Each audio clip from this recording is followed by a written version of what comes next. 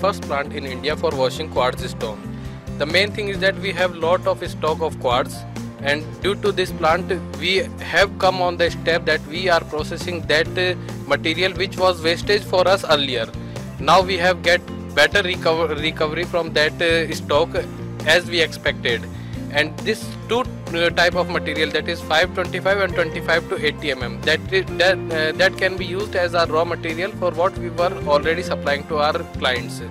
And remaining waste even that waste is is not uh, can be considered as waste because that can be sent as uh, M we can be we can uh, sell that as M sand. Yes. that is the good thing that we have zero wastage because of this plant. Our waste material has 100% can be used now.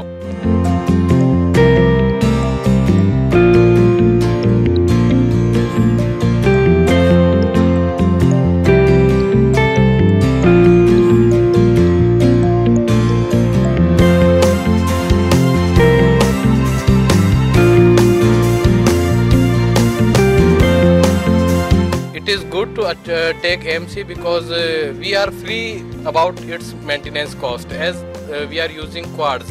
It is very hard uh, material which uh, uh, makes uh, high maintenance and due to AMC we are free very much to be uh, relaxed regarding um, maintenance of the plant.